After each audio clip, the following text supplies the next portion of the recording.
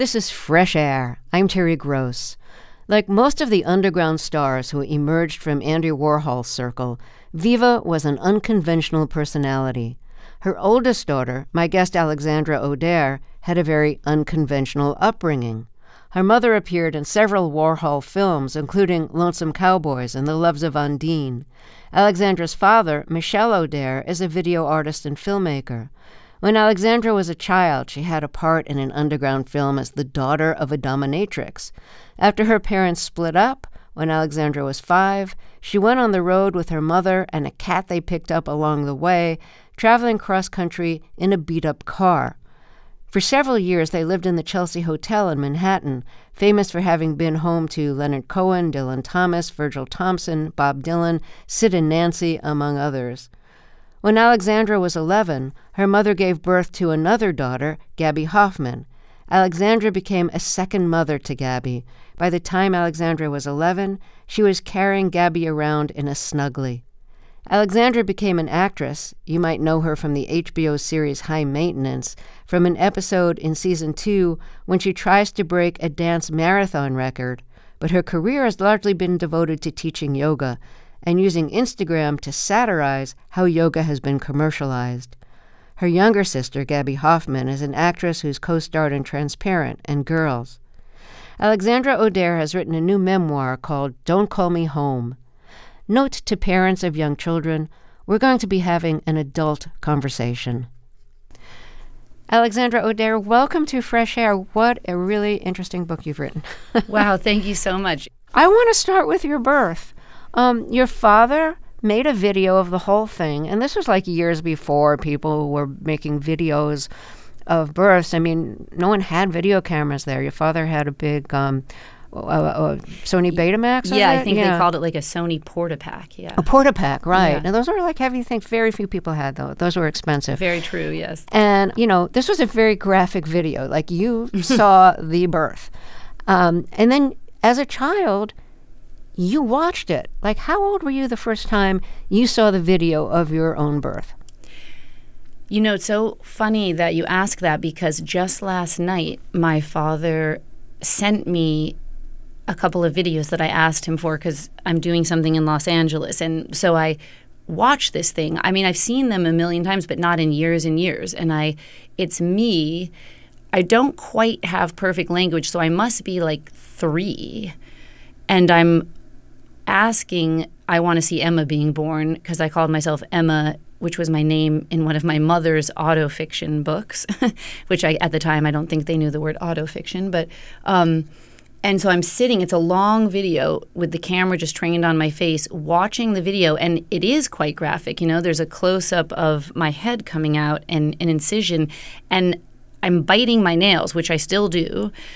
And staring at it and you can see every expression sort of across my face as each moment in the birth video happens. And it's almost a bit disturbing actually.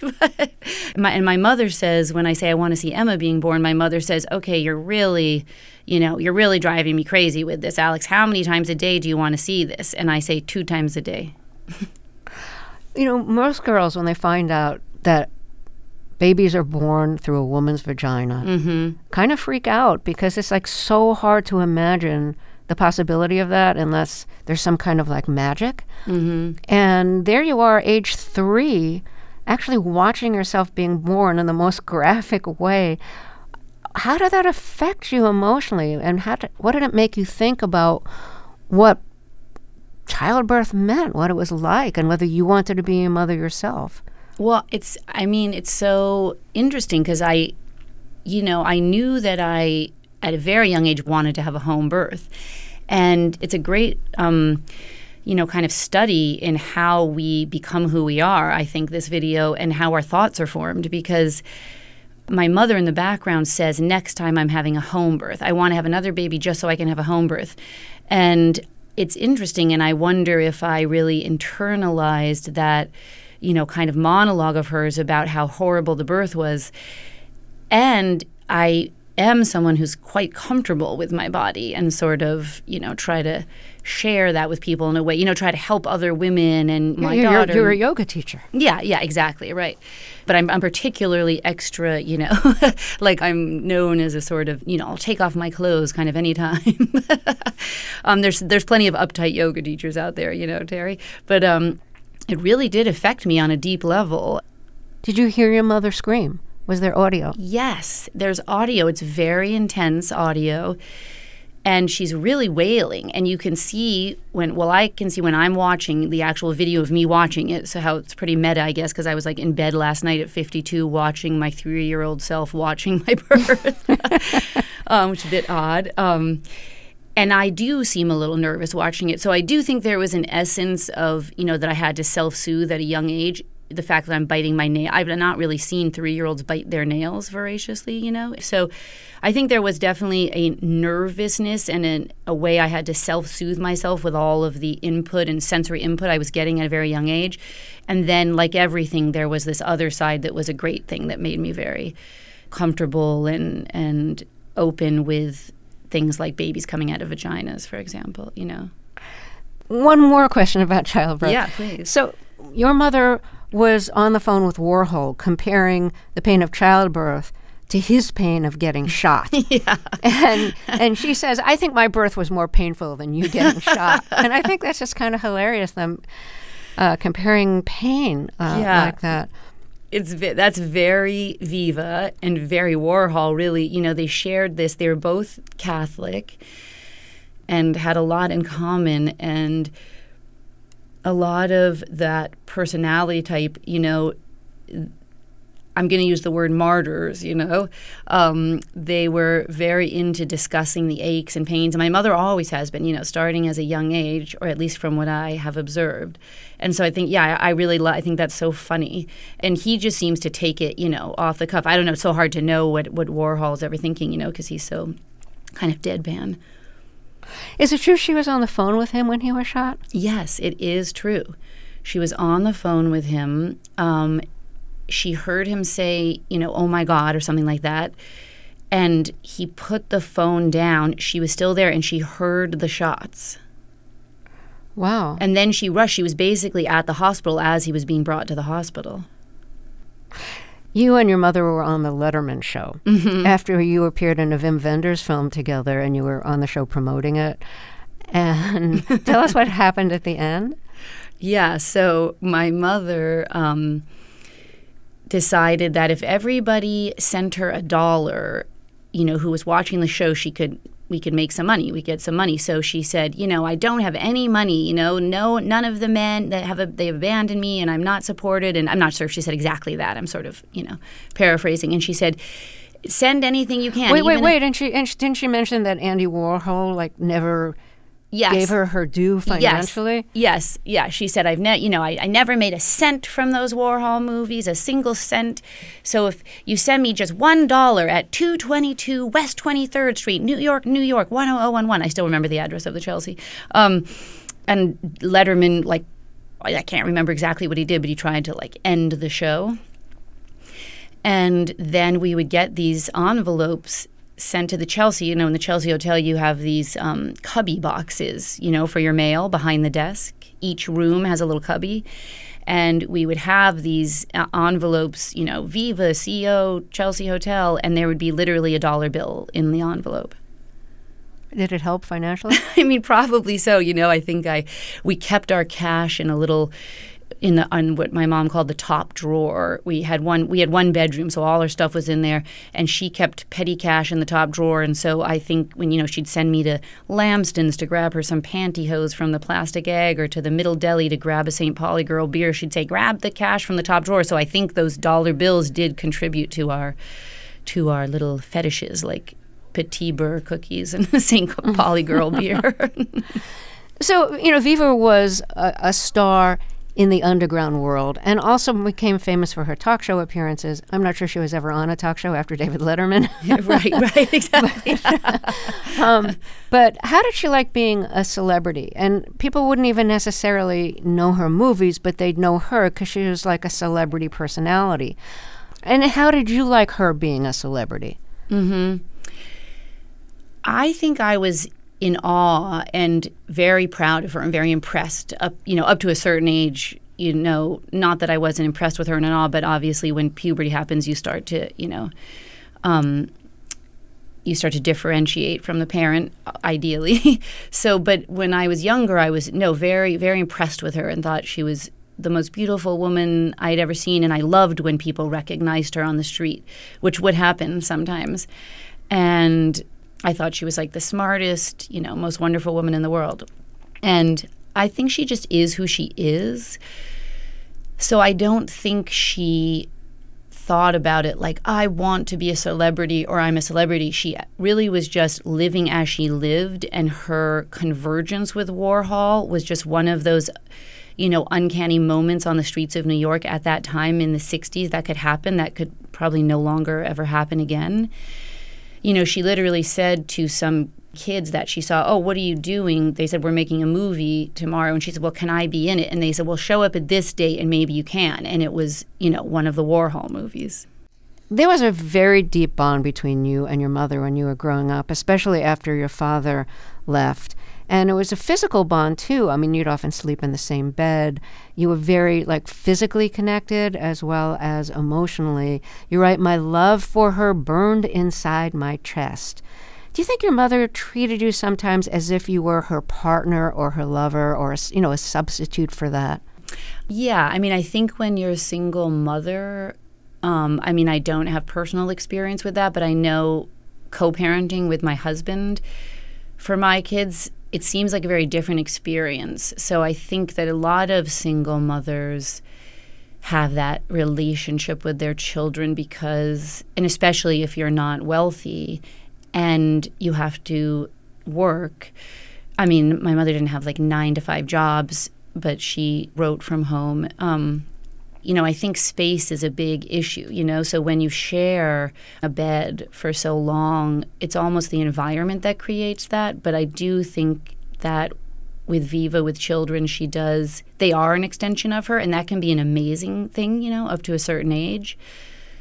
And, you know, she doesn't have a filter and she doesn't have boundaries. So, in one sense, it creates this great, um, like confidence I think in little kids because you're you're treated almost as an adult in some way, you know, and then certain aspects of that can go awry. After your father left when you were 5, you and your mother went on the road together. And you, you had a beat up car. I don't know how many times it, it, it, broke down, but I imagine it did. Um, tell us about like one or two of your adventures on the road and how you experienced that as a child. I mean, children often really want boundaries, they want predictable patterns in life, and you had the opposite. yeah, I never knew that, you know, Terry. I never knew that until I had kids, you know. Um, but um, yeah, our car basically, if you came to a stop, as I remember, and, and again, you know, memory is faulty. My mother would probably have a different version of the story, but I think she would agree with this. The car would just stall out and so we were in the South. She was dating, um, or dating is a, the wrong word. She was with, her lover was Bill Eggleston, the great, wonderful American photographer from Mississippi. And um, I actually really liked him, one of her only boyfriends I liked. So we were traveling around, sometimes with him, but he was married. So sometimes hmm. he would go back home to his family. Um, and we had this car. I don't know if Bill gave it to us or what. And so when a red light would happen, we would actually try to slowly roll through. So my mother would say, "Okay, hold on, honey. You know, I'm going to go really slow here." And then we would just try to make, you know, we would pray that no other cars would be coming. But sometimes, of course, we did have to stop, and then it would die, and then we'd have to like roll it into a uh, repair shop and you know, they tried to fix it. I don't know if they did. It had no heat. And so at some point we were in the Rocky Mountains with no heat. And my mother would say, Oh God, my feet are just freezing to death. And I would like rub one of her feet while she was driving to keep them warm. so it sounds like sometimes your job was to take care of her as opposed to her job being to take care of you. Yeah, I think I think that's um, a legitimate thing to say. But you know, she did lots of taking care of for sure and but I think that there was that aspect. You know, there was an, a a co we could call it a codependency, which is a bit odd since you know I guess you're not as a child. You're not so codependent. You're just meant to be taken care of. But she didn't like, you know, I didn't feel neglected on any deep level in terms of my needs taken care of. But yes, I think there was an emotional caretaking for sure. You wanted a sister very badly, and when your mother became pregnant when you were about 10 or 11, um, with an actor who you both knew, but who was, I think he was married to somebody else at the time. Um, uh, so your mother asked you, and you're like 10 or 11, she asked you if she should have an abortion. Mm-hmm. That's a pretty big question to lay on a child and a big responsibility, too, because say you answered her pro or con, yeah. and she decided, even if it was independently decided, to do the same thing that you suggested. If things went wrong one way or another, if she had regrets one way or another, you might have felt a responsibility for that. Yeah, you bring up a really good point in this kind of, you know, relationship that we had. I felt I had a great deal of control on some level, whilst, you know, of course, in retrospect, you know, if you were going to go to the um, analyst couch one the thing is there was no control. But yet i did believe i had this ability to you know steer the ship. And um, you know her saying should i have an abortion?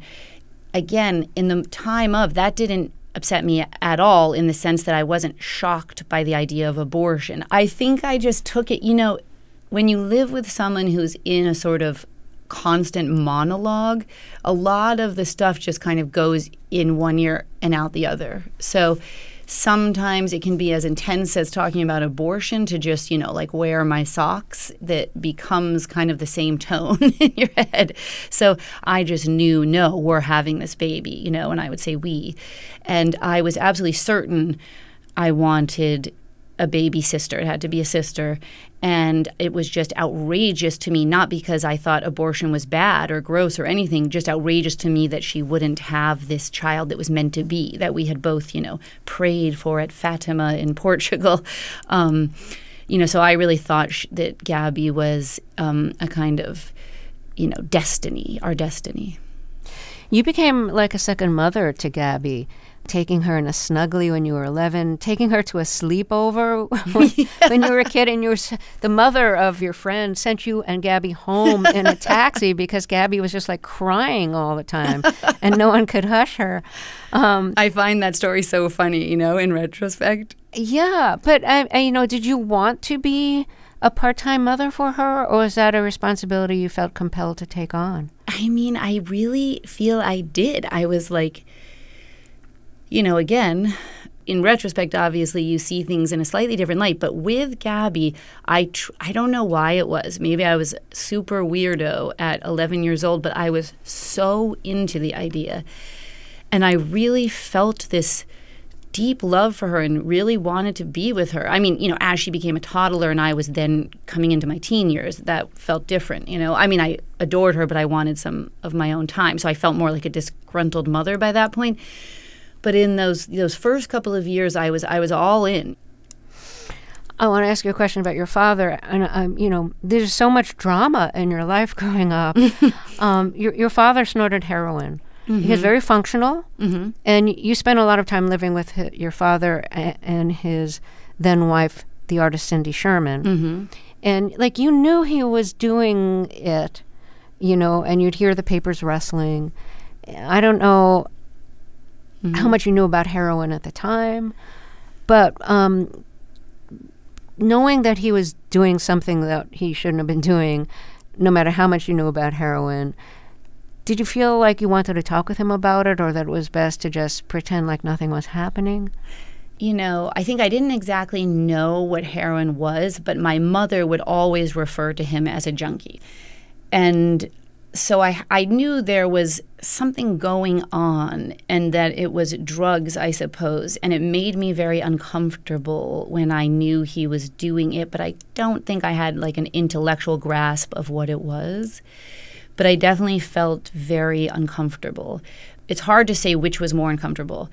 My mother yelling about it a lot, you know, and asking me to call him and tell him I know or confront him or being in his loft in Tribeca, knowing he would sometimes do this thing, this mysterious thing. you know, I almost preferred to just dissociate for a couple of minutes and wait till the process was over and then come out because when we were together he didn't seem high to me at all. He just i actually really enjoyed his company.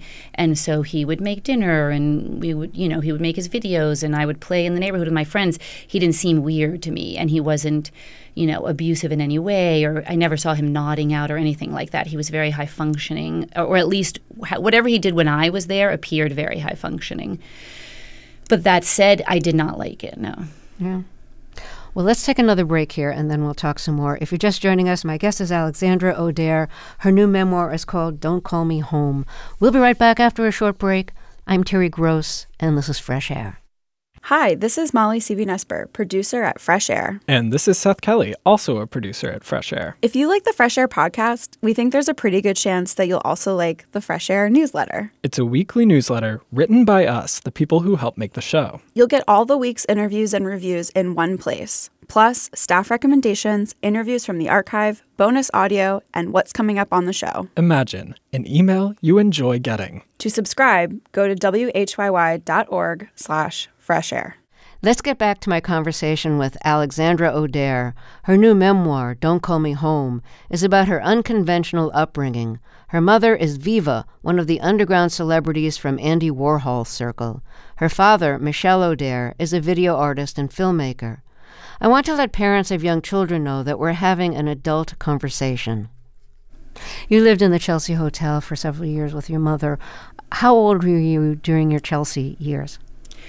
So we I was almost born in the lobby and then we were there when my mom and dad were still together for I would say a couple of years before we moved to Topanga Canyon. And then from like 2 to 10 it was a lot of that on the road that you mentioned and you know going to different places across the country and even even different places in the world. My mother had this sister in Argentina and I also visited, I went with my dad to Paris and France and saw his French family. So when I was about 9, 10, we secured an apartment in the Chelsea. We had just come back from Portugal doing that Wim Wenders movie. And we stayed there from then on until I left for college. What was it like spending some of your formative years in the famous Chelsea Hotel? And who was living there at the time whose names we might know? It was honestly a wonderful place to be an adolescent and a teenager because one there's a doorman. So you know if you go out partying at night there's no fear of drunk driving and there's always somebody there.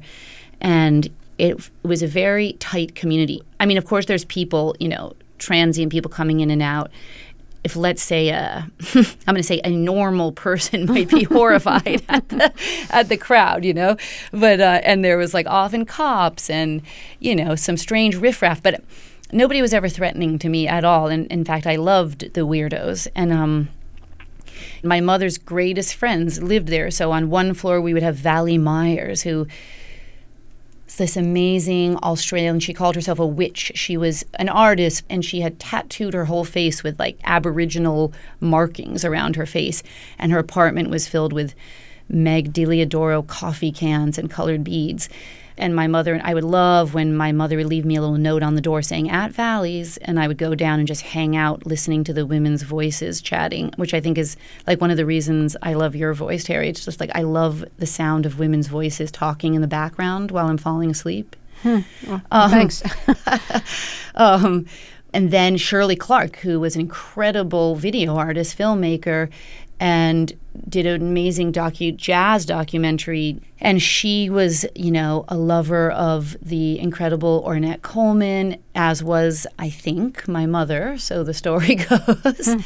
and um, Shirley Clarke was all black and white. She had a Felix the cat fetish, and the entire apartment was black and white with a like shelf of Felix the cat dolls, and even she herself was black and white. Like she had a white streak and a black streak in her hair and wore only black and white clothes. So, what was the downside of living in the Chelsea? As community oriented and fun as it could be, there was also a sort of menacing side. And Stanley Bard, who was the owner at the time and the landlord, and is is famous for being generous with artists. He would take art in exchange for rent, and is often lauded as this great you know, benefactor of artists, he would, you know, call me into his office at the age as young as, you know, 10 years old and tell me I had to go get the rent from my mother, or they, quote unquote, they, I never knew who they were, were going to kick us out.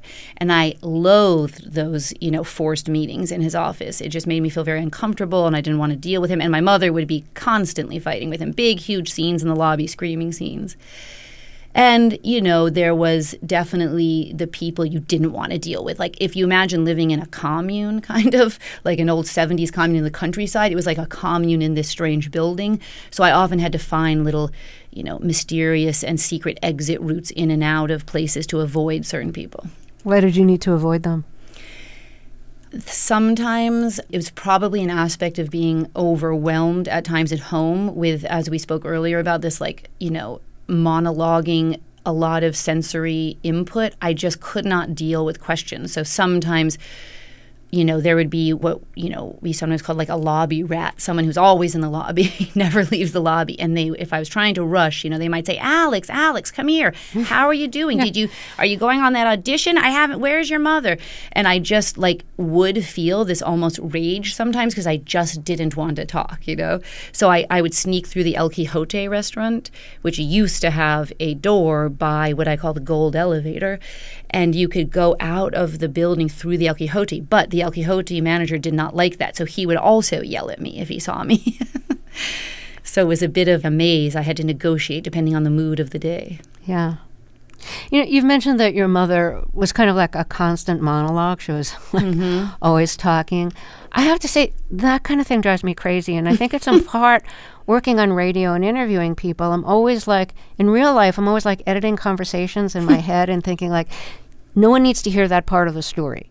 You know, it's like edit that out and move on to the next Yes. thought. You know, and like make it all shorter. No one has that attention span. Yep. Um, and of course, you can't do that in real life.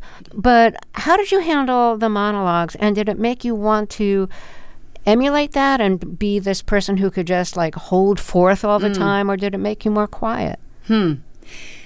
I think if you ask certain people, you would get different answers.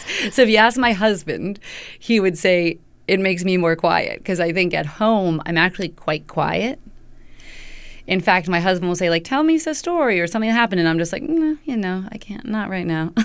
um, but I do have a performative aspect for sure. So I think my friends would think of me as a talker. And I do try to self edit. In fact, I often, some of those, you know, 3 a.m. moments of shame, I'm like, oh my God, did I let other people have the floor more? You know, like, shut, shut the F up. So I, I actually like consciously say to myself in gatherings, like, now you be quiet and somebody else tells the story.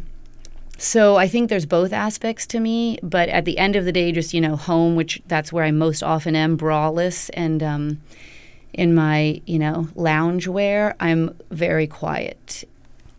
Well, let me reintroduce you again. If you're just joining us, my guest is Alexandra Auder. Her new memoir is called Don't Call Me Home. We'll be right back. This is Fresh Air. This is Fresh Air. Let's get back to my interview with Alexandra Auder. Her new memoir, Don't Call Me Home, is about her unconventional upbringing. Her mother is Viva, one of the underground celebrities from Andy Warhol's circle. Her father, Michel Auder, is a video artist and filmmaker. I, I want to ask you about losing your virginity to a Why, thank you, Terry. Yes, I know. I ask all my guests about losing Yes. your virginity. I'd love to discuss this. Yeah. So you lost your virginity when you were babysitting. You were 17. You were babysitting for a married actor who was out filming a role. Mm-hmm. And when he came back, his wife wasn't home. Mm-hmm. She was also an actress who you very much admired. And uh, he started kissing you, and then you lost your virginity. He was in his 30s. You were 17. How did it look to you then compared to how does it look to you now? Mm. Yeah, I mean, at the time, it was just again something I was doing, but there was a kind of meta look at it where I did realize he was sleazy. And yet I wanted to use him to get the deed done. And um, in retrospect, when writing the story, I think I saw it obviously in light of the Me Too movement.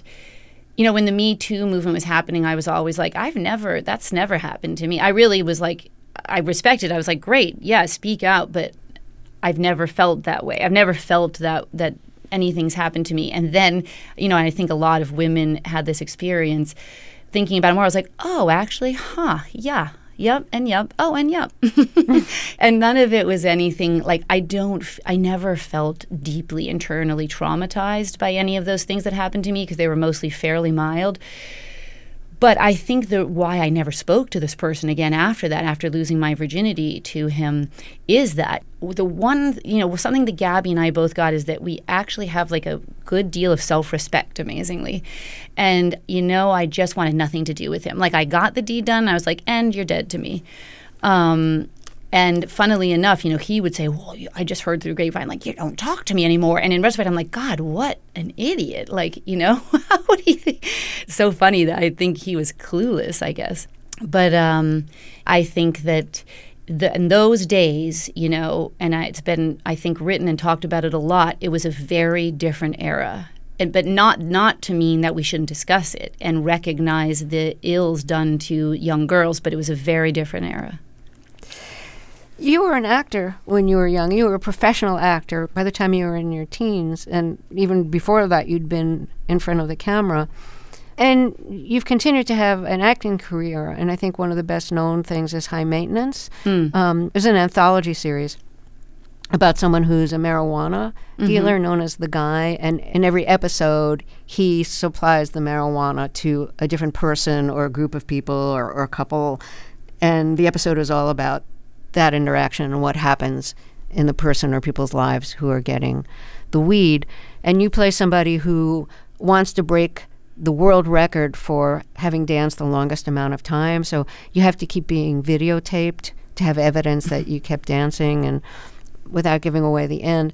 And it seemed like a perfect role for you in a way because you are such a physical person. You're a yoga teacher. You always loved dancing. Um, but how how much do you care about acting? Because you you've really devoted your life more to studying yoga and becoming a yoga teacher, something you've done for for for years. I mean, my true love was acting and kind of is acting.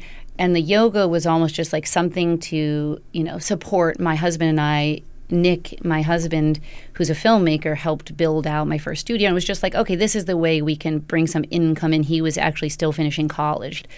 So I always thought I would get back to acting, but then, you know, I mean, it's so funny to think when I was in my 30s, I thought I was too old at that point. Um, and my husband and I would always be making films together. We do these collaborative movies. But yeah, so I was really thrilled when Ben Sinclair, the one of the co-creators of um, High Maintenance, asked me to do that, and I. It, that was sort of my dream job because it was I I hate auditioning for things. So even now, sometimes a casting call will come, somebody who knows me and says, you know, wants me to send a video in to like for underwear or something, you know, where you make like maybe a couple thousand bucks in the day and I have to send a video in of me like sitting in underwear on the bed and I'm I can't do it. I find it very demeaning. I'm like I could use a couple thousand bucks but I'm not doing the underwear thing. Um, uh, so I kind of just want to be asked to do something, and that's what Ben Sinclair did. But you know, of course, like you know, I don't know if um, Tilda Swinton wanted me to audition for something. Obviously, I won't say no. But um, yeah, so I think at some point it was clear I wasn't going to be pursuing acting because of that attitude, most likely. I'm sure everyone's like, well, duh, you, you wouldn't go on an audition. no one's going to come calling, honey. Um, so I, yes, so the yoga thing, and you know, and I do love I love teaching. I, I, mean, I don't, but I used to love teaching a group yoga class. I did. I did used to love it. But that said, yes, I actually find teaching also demeaning. teaching yoga makes a lot of sense to me in the sense that you've always been comfortable in your body. I mean, y- you and your mother are very comfortable, you know, nude. Mm-hmm. Um, th- there was no shame involved with that, and you were, you were you never were embarrassed, you know. Um, and also having grown up with the kind of constant emotional tension, mm-hmm. I could see how yoga would really be a way to exit that. Yes. and find a sense of center within yourself, not reliant on another person's approval or validation, but just like within yourself, and also just uh, you know calmness, the calmness that you can discover with a practice such as yoga. Well, you're making me now want to take a class, Terry. I honestly was like, yeah, you hit the nail on the head. Yeah, I think that's exactly what I discovered at a very young age. You know, I took my first class at Jivamukti, and I really found my yoga mother there, this incredible woman, Sharon Gannon. And she um, knew actually. She said, I've seen your birth. She said she had seen, she was in the art world as well in Manhattan, and she saw Michel's video. And she, you know, introduced me to the world of yoga, welcomed me in, and you know, I, almost like jokingly call it a curse because basically I was hooked, and I think it's exactly why you say that somatic um, connection to self and the silence and meditation. And I think you know it's weird. I actually really didn't put that together, like also as a reprieve and break from the monologue inside the apartment. Um, and I really took to it. And um, you know, I think it was just when the commodification of yoga happened, it was hard to. And also, we we as yoga teachers, I say we as the group, you know, that we realized that there was a lot of appropriation. There was this idea of manifestation, and that all, you know, the whole idea of karma can be kind of effed up. That it didn't take into account for economic injustice. So I had a lot of criticisms and questions at some point, and that I couldn't, you know, reckon with. Well, let me reintroduce you again. If you're just joining us, my guest is Alexandra Auder. Her new memoir is called Don't Call Me Home. We'll be right back. This is Fresh Air. Your book starts in the present or near present with you wanting to smother your mother, Viva. She was in her 80s. You were in your late 40s uh, during the part when this takes place. Mm-hmm, correct. Um, what was happening? Why did you want to smother her? And uh, I'll remind listeners who maybe didn't hear the beginning that, I mean, you were so close when you were a child. I mean, just like physically, emotionally, totally bonded. Yes. Um, you know, I think all women have that experience with their mother at times, you know, and hopefully some less than others. But I think for whatever strange, you know, whether it's Lacanian, Freudian, primordial, primitive animal thing, we have that kind of repulsion to our mothers at times in our lives. So there's that. But then I think with what I would say a Viva, who is difficult to contend with, and again, the constant monologue, the drama, the, the histrionic nature of her personality can be very overwhelming is often can. It can also be hysterically funny and wonderful and a real joyride but in its darker moments can be very overwhelming.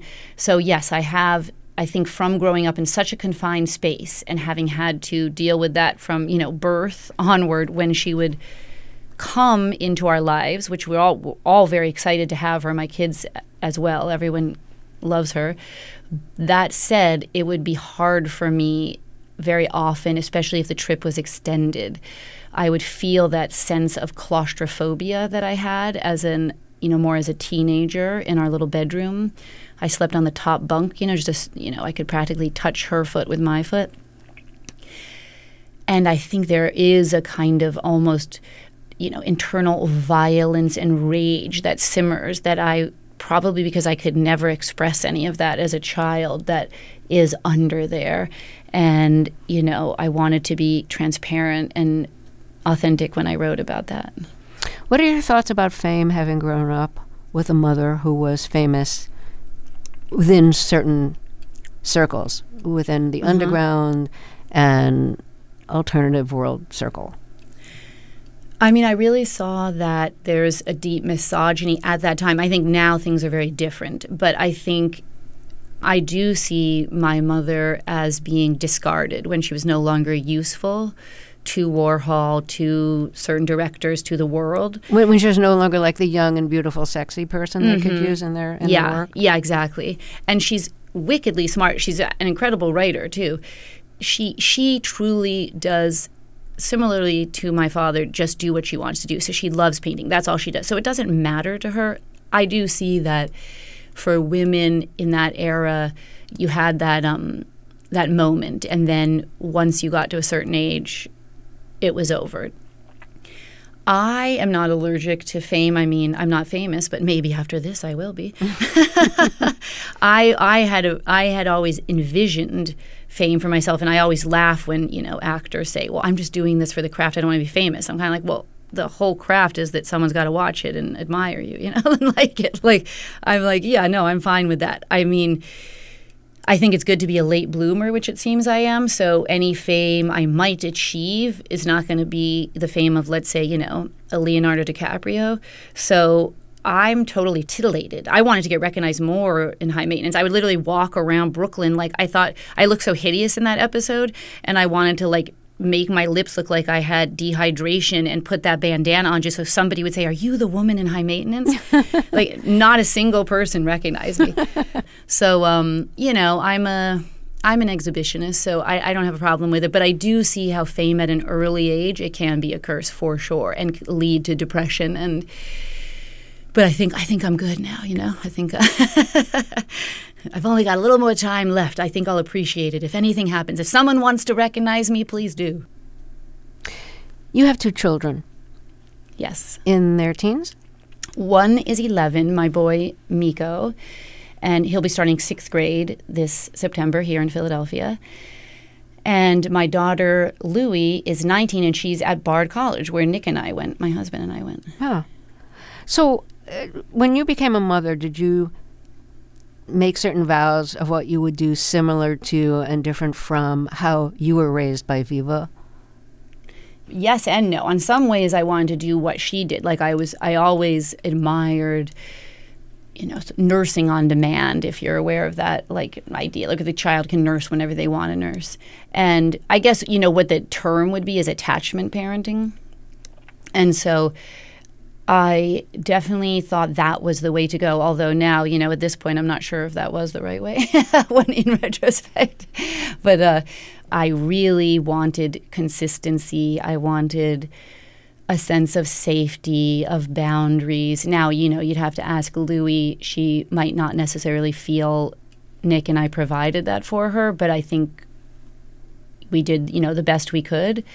But, you know, I think that is why probably were more domestic. We're more boring, really, than my own parents were, you know? and I wanted to, you know, I wanted them to have their own sense of self and my, my a sense of privacy with my own private life. Now, again, if you interviewed my kids, they might not say that's how it went down. Yeah, well, I, I know from your book that you went through family therapy mm-hmm. with um, well, I don't know who was in it, but I know your daughter was. Mm-hmm. And and you write that um, listening to what your daughter had to say about you was a form of torture. yeah. and that she described how sometimes she feels when she's at home filled with anxiety, unable to relax, no privacy, that she's subjugated mm. by her parents' unpredictable moods. Um, I can imagine how that would feel like torture. Yeah. But yeah. was it helpful to since you wrote about it? I'm going to ask, was it helpful to hear that? Yeah, I, I do think so. I mean, it was shocking, um, I think. And I, you know, part of me wanted to be like, oh my gosh, do you know no privacy? You need to see how I grew up, you know? And I hadn't, you know, she hadn't read my book at that point. Um, so it was almost like, you have no idea, kid. But I knew that that was obviously the worst thing one could ever say, you know, in a family therapy session or to your child. That's just it doesn't mean anything. You know, it doesn't matter how you grow up. It's how they're experience experiencing it. So I luckily avoided saying that. Um, but I was yeah, I was a bit devastated actually, to be honest, to hear that. Um, I think now that Louie has read my book, she's a huge she's the like greatest supporter and the most wonderful woman and she's loves it and finds it hysterically funny. And I gave her a copy to make sure she didn't have a problem with any of you know the part she was in. She jokes that I call her a slut on the first page. Um, but um, so I think that's been therapeutic on some level you know for us. Um, and you know we're pretty we're pretty honest with each other as a family most of the time. So you know, I think what she's, you know, what everything she said in that therapy session, I agree with, you know, and there's you can't go back. So you, I just, you just have to acknowledge the faults as best you can to your children and um, try to do better onward, you know. So, Alex, it's been great to talk with you. I'm so glad we did this. Thank you so much. I adore you, and I'm so appreciative. Alexandra Auder's new memoir is called Don't Call Me Home.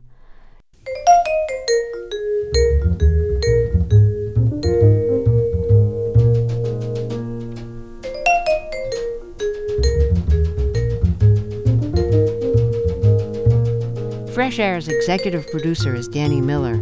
Our technical director and engineer is Audrey Bentham. Our interviews and reviews are produced and edited by Amy Salit, Phyllis Myers, Sam Brigger, Lauren Krenzel, Heidi Saman, Teresa Madden, Anne Baldonado, Thea Chaloner, Seth Kelly, and Susan Nyakundi. Our digital media producer is Molly Seavy Nesper. Roberta Shorrock directs the show. I'm Terry Gross.